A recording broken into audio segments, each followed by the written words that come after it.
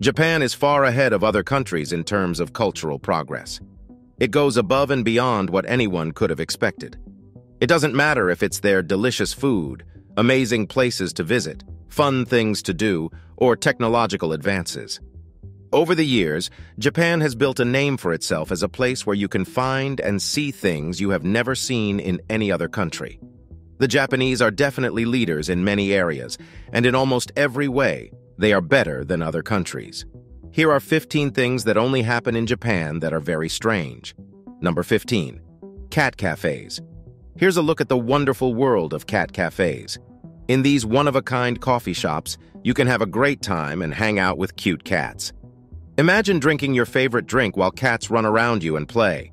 There are cat cafes in a lot of big cities, but they aren't always easy to find because they are usually on the upper floors of buildings. In Japan, cat cafes are very popular right now. It can be hard to have a pet in a busy city because there isn't much space, rental agreements are strict, and people are always on the go. Because of this, both locals and tourists who love cats love going to these cafes. Usually you don't need to make a reservation, but for the more popular ones, it's a good idea to call ahead. Just remember that most places only let people in who are at least 13 years old. Now let's talk about how things will work. Each cat cafe has its own rules, but here are some that most of them have in common. You can pet the cats as much as you want, but you can't pick them up unless they ask to be picked up.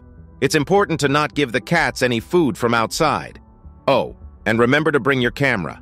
It's fine to take pictures of the cute cats and the cozy cafe, but please don't use flash photography. So whether you're a local who wants to hang out with cats or a tourist who wants to do something different, Cat cafes are the perfect place to go. Number 14. Japan's public baths, called sento, have been around for a long time. During the Edo period, when there weren't many places to take a private bath, public baths were built in places where there weren't many private baths. This practice is still done today. When you go to a sento, you will see many different shapes and sizes. Some are modern and luxurious, while others are comfortable and have a vintage look. Some bathhouses have paintings that show important places. Men and women have their own places to bathe inside. In a dressing room, you can put your things in lockers or other places set aside for that purpose. In contrast to hot springs, Sento usually doesn't have soap or towels, so you'll need to either rent a towel and bring your own soap or bring your own towel. The shower is where the bathing process starts. Each shower stall has a stool and a bucket. You splash yourself with warm water and scrub. Be careful not to splash other people. After that, you can go into the baths, but don't throw your towel in. Put it on your head or set it down. It's important to remember that kids shouldn't bring toys into the tub and shouldn't splash. At first, public bathhouses in Japan may seem strange, but once you get used to them, they can be a lot of fun. It can even be refreshing to take a bath with a friendly stranger. Number 13. Watermelons shaped like cubes. Square or cube watermelons are a unique type of watermelon grown in Japan that stands out. In 1978, a graphic designer named Tomoyuki Ono came up with them. They quickly became popular. The main reasons for their strange shape are that it is useful and looks good. When compared to round watermelons, cube watermelons are made to fit more easily in refrigerators. Their square shape keeps them from rolling, so they can be stacked neatly and make good use of space. Also, their shape makes them easier to cut because they don't move around on the table. This makes them safer and more convenient. But there are some bad things about these strange fruits. These watermelons are picked long before their sweet taste can develop. Also, because they are so rare, they can cost as much as $200 each because they are so hard to find. So these watermelons are seen as a luxury fruit instead of one that is easy to enjoy. Since cube watermelons came out, other shapes have come out, like heart-shaped and pyramid-shaped watermelons. This makes shopping for fruit even more fun. Also, these unique watermelons are no longer just found in Japan. You can now find them in other places, like Germany. Number 12. Vending machines everywhere. When you first arrive in Japan, particularly in Tokyo, one of the first things you notice is the abundance of vending machines strewn throughout the streets. While vending machines aren't uncommon in Japan, the sheer amount of them here is astounding. More than 2 million of the country's 4 million vending machines are dedicated to selling beverages. But it's not only the numbers that are surprising, it's also the breadth of the options. Vending machines provide odd goodies such as maize, sweet bean soup, shrimp broth, and even Indian curry in addition to the standard water, coffee, and soda. Moreover, throughout the winter, these machines provide hot alternatives such as soothing soups. While drinks dominate the vending machine landscape, the other half of these marvelous contraptions offer an assortment of goods. From ice cream and snacks to frozen ramen and gyoza, you'll encounter vending machines that go beyond your expectations. Fruit vending machines featuring items like bananas, pineapple sachets, and chopped apples have gained popularity too. Some vendors even choose to sell both drinks and snacks in their machines. Of course, we can't forget the tobacco vending machines, a reflection of Japan's high smoking rate. It is intriguing, however, that these machines, along with those dispensing alcoholic beverages, lack age verification despite Japan's strict regulations on drinking and smoking for minors. Japan's vending machine culture is a testament to the country's innovation. It offers an enchanting glimpse into the abundance and diversity of products available at your fingertips. Number 11. Shokuhin Sampuru. Shokuhin Sampuru are plastic models of food that Japanese restaurants use to show off their food and attract customers. Polyvinyl chloride is used to make these replicas by hand. They look like real food and are made of plastic, wax, or resin. In the late 1800s, when real food displays were used instead of written menus, this custom began. In the 1920s, people started making models of food to help customers decide what to order. Today, Japan's plastic food industry brings in billions of yen every year. The models are very flexible and can be changed to show specific details and regional differences. Some restaurants pay more than a million yen for a full set of plastic items that will last forever. These models are also sold to the general public in Tokyo's Kitchen Town. Shokuhin Sampuru has become an art form, and museums and competitions show off how well it is done.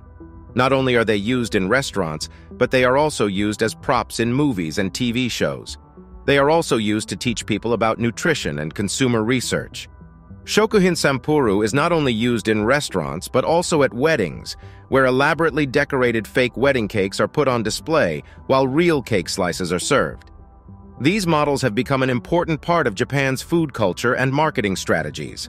They show customers what the food looks like and draw them in. Number 10. Washlets. Get ready to be blown away by Japan's high-tech toilets, which they call washlets. These toilets from the future are full of cool features that will blow your mind. Imagine if your toilet could spray water on your behind. Set the temperature of the water to how you like it put out nice smells, and even play soothing sounds to drown out any other noises. These washlets are so much better than anything else on the market. Don't be scared by how advanced their technology is. Once you know a few simple tricks, they are pretty easy to use. All you have to do is press the buttons on either side of the toilet. And there, you're good to go. And if you can't reach the control pad on the toilet, don't worry. Uh, there's convenient remote control pad on the wall. In fact, smart toilets have become so popular in Japan that in 2018, the Japan Sanitary Equipment Industry Association had to make standard symbols for the buttons on these toilets so that tourists wouldn't get confused. So common and high-tech are these washlets in Japan. It's interesting to think that Japan has become a center of innovation for toilets around the world.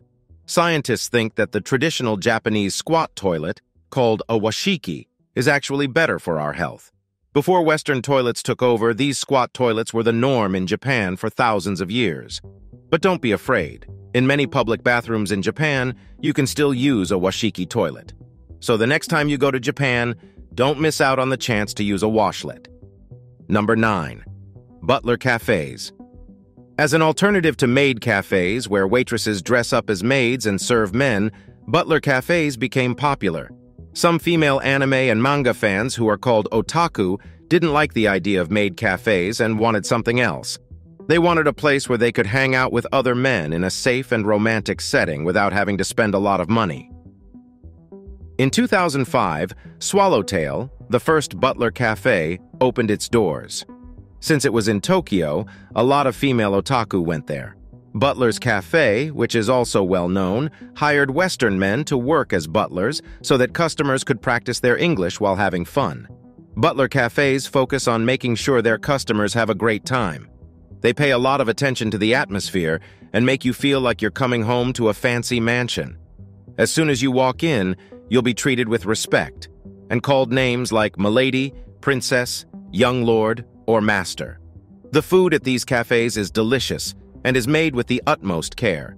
You can have a traditional English afternoon tea with delicious cakes, scones, sandwiches, and of course tea served in beautiful porcelain cups. The inside of the cafe is made to look like a beautiful English manor or country house, with beautiful furniture and decorations. The butlers themselves have been taught a lot about how to make tea, restaurant service that goes above and beyond. They take their job seriously and do their best to make sure you have a great time. Some butlers even take part in the cafe's musicals, plays, and concerts. One thing to remember is that most butler cafes don't let you take pictures. But some coffee shops, like Butler's Cafe, offer special photo services so that you can remember special times with your butler. Imagine having a picture of your butler lifting you up or getting bubbles, a tiara, and a silver bell like Cinderella. At Butler Cafes, both the staff and the customers have to follow a set of rules. They want to make sure everyone feels safe and respected. Most of the time, you can't do things like meet outside the cafe or share personal information. So if you want a magical dining experience and a taste of what it's like to be rich, you should go to a Butler Cafe. Number 8. Capsule Hotels. Have you ever heard of people staying in hotels with only one room? Because that's exactly what a capsule hotel, also called a pod hotel in Japan, has to offer, but with everything you need. The first of these unique hotels, which are also called pod hotels, opened in Japan. Now they can be found all over the world. They give travelers who don't need a big, fancy room a really cool and cheap option. What is a capsule hotel then? You don't get a normal hotel room. Instead, you get your own cozy pod that's just the size of a single bed. It's almost like having your own secret place. There is everything you need for a peaceful stay inside the capsule. It's like a mini modern cabin with a TV for entertainment, air conditioning, a video game console, and plugs to charge your devices. Want to know how capsules are put in? So, one on top of the other. Yes, you did hear correctly. Each one is put on top of the other. Now you might be wondering what will happen if you choose to stay in one of the best ones. Don't worry. The people who made it knew it was for a person, so the top ones have ladders or steps to get to them. You can even close the pod off with a curtain or a solid door if you want to be alone. Man, that's cool. But remember that only the inside can be locked. Let's move on to the best part. You might be wondering where you can take a shower or go to the bathroom if you need to. So there are shared facilities like showers and toilets, as well as free Wi-Fi. Some capsule hotels, like hostels, even have free saunas and baths. Some places even have pools and fun things to do for you. There are different kinds and sizes of capsule hotels with anywhere from 50 to 700 pods. Men like them more than women do, though. Some hotels have rooms or floors for women only. When you get there, you'll trade in your usual clothes and shoes for a yukata and slippers. Don't worry about the things you own. They can be put in lockers or room safes to keep them safe. What do you like best? The cost of a night at a capsule hotel is usually between 2,000 yen and 4,000 yen, or about 18 to $36. When you think about how easy and comfortable they are, it's a great deal. Who stays in these wonderful hotels? In Japan, these are places where hardworking salarymen go to rest after a long night out. People can also use them if they miss the last train home or just want to get away from their normal routine. Some people even rent capsules for longer periods of time when they are going through hard times. But anyone looking for a fun and cheap place to stay could benefit from staying in a capsule hotel. Number 7. Love Hotels. Let me tell you about the fascinating world of Japan's famed love hotels. These interesting and unusual motels offer hourly rates and an isolated hideaway for couples looking for romantic interactions. In Japan, privacy is a valuable commodity, with curious parents, nosy neighbors, and cramped apartments making it impossible to bring someone home. Love hotels overcome these issues by providing an intimate haven where couples may enjoy total privacy. These hotels can also provide a handy location to sleep, or perhaps serve as your main source of accommodation while traveling to Japan. Love hotels have a long history, dating back to the 17th century during the Edo period. At that time, special inns and tea houses were built with secret entrances and tunnels, catering to the needs of prostitutes, their clients, and lovers seeking discretion. After World War II, small family-run lodgings called Tsurekomi Yado became popular, providing simple accommodations for those in need. Love hotels gained even more popularity with the introduction of automobiles in the 1960s, as Japanese homes had limited privacy. Married couples started frequenting love hotels for intimate moments, and these hotels quickly spread across Tokyo. In 1984, love hotels came under police jurisdiction due to a regulation law. To avoid this classification, new hotels toned down their extravagant designs. Love hotels also began targeting women as their customers. A study in 2013 showed that women made the majority of room selections in love hotels. The law was further amended in 2010, blurring the line between regular hotels and love hotels. Love hotels constantly adapt to meet regulations and attract customers. Hotel operators use various terms like romance hotel, fashion hotel, and couples hotel to stay trendy. Their cultural significance is evident as they were even added as emojis in Unicode 6.0. Number 6. Yuru Kyara Let's dive into the fascinating world of Japanese mascots known as Yuru Kyara. These adorable and sometimes peculiar characters are used to promote various things like towns, tourist attractions, and products in Japan. You can find them all over the country, and two of the most famous ones are Domo-kun, Nippon Hoso Kyokai's mascot, and Kumamon from Kumamoto Prefecture, which have gained international recognition. Believe it or not, these mascots have a significant impact and bring in a lot of money. Kumamon alone generated an extra 124, 4 billion yen for Kumamoto in just two years. In Japan, there's a deep-rooted appreciation for cuteness, known as kawaii. It's not just for kids either. Adults in Japan openly embrace cute things without much stigma. Today, we'll explore the power of cuteness that these mascots hold in Japan, also known as Yuru Kyara. They go beyond just being cute characters and take on meaningful roles and behaviors. Each of Japan's 47 prefectures has its own mascot, and it's not limited to just one per prefecture. For instance, Osaka has over 40 mascot representatives. These mascots play a vital role in promoting tourism within their respective regions. But how did mascots become so popular in Japan? Well, their popularity can be traced back to the emotional connection that the Japanese people have historically felt with non-human characters rooted in ancient polytheism and Japanese folklore.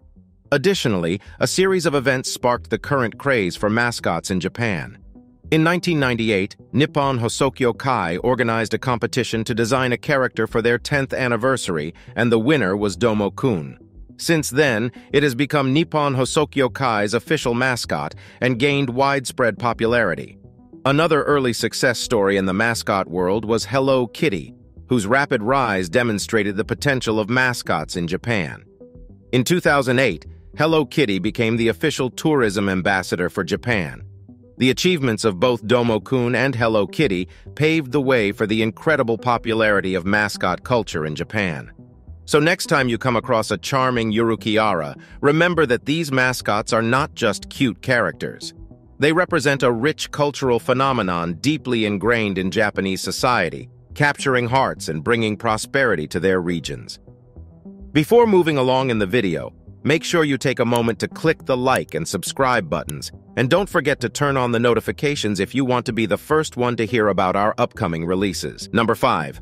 Rice Paddy Art you will be amazed by an incredible art form called rice paddy art.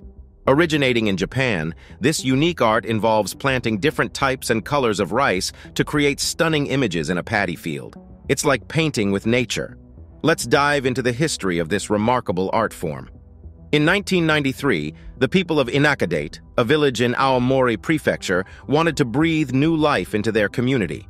They discovered that rice had been grown there for over 2,000 years, and they decided to honor this heritage in a creative way. They transformed a rice field behind the town hall into a canvas. Using four different types of rice, both old and new varieties, they cultivated a gigantic picture in the field. To make it easier for everyone to enjoy the artwork, they even built a tall tower for a panoramic view. People were so captivated by the beauty of the art that over 200,000 visitors flocked to the village in 2006 alone. Inspired by Inakadate's success, other villages like Yonezawa and Yamagata Prefecture started creating their own rice paddy art. It became a trend. Let's take a peek at some of the incredible designs that have graced the Inakadate rice fields over the years. They've depicted famous figures like Leonardo da Vinci's Mona Lisa, traditional Japanese paintings, iconic movie scenes from Gone with the Wind and Star Wars, and even legendary creatures like Yamata no Orochi. Every year, the villagers come together in April to decide on the design and the plan for the planting process. Computers are used to sketch out the designs and where which type of rice should be planted. The teamwork is definitely remarkable. If you think this art would have been saved from controversy, you are then definitely wrong, my friends. In 2008, there was a plan to include advertising logos in the artwork, but it caused a problem. Some villagers and the previous mayor strongly opposed the idea, threatening the land won't be leased if the ads were included, which ended up the removal of seedlings and the scrapping of advertising logos. Rice paddy art is a testament to the creativity, skill, and community spirit of the Japanese people. It's a visual feast that brings joy to thousands of visitors each year. So if you ever find yourself in Japan during the rice growing season, make sure to visit one of these incredible paddy fields and witness the awe-inspiring beauty of rice paddy art for yourself. Number 4. Diverse Kit Kats.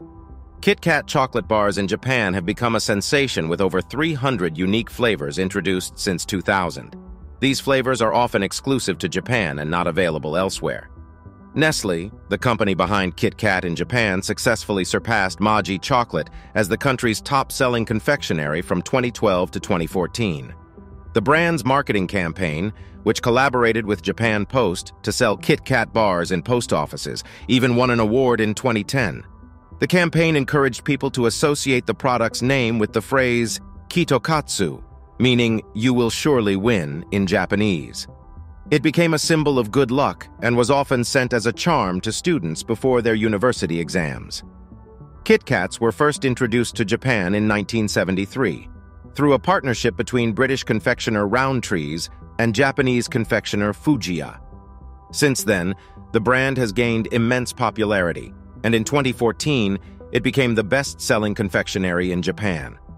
The success of Kit Kat in Japan can be attributed to the introduction of unique flavors, with green tea being the first in 2004. These seasonal and regional flavors have become highly sought after due to the tradition of bringing back regional specialties as souvenirs. Nestle adopted a business model specifically for the Japanese market, producing smaller runs of flavors to better control costs. This approach worked well in Japanese convenience stores, where products frequently rotate off shelves. Kit Kat bars in Japan are made from milk chocolate produced at Nestle-owned factories in Himeji and Kasumigaura, using cacao beans primarily sourced from West Africa. The marketing of Kit Kats in Japan has capitalized on the coincidental association of the brand with good luck.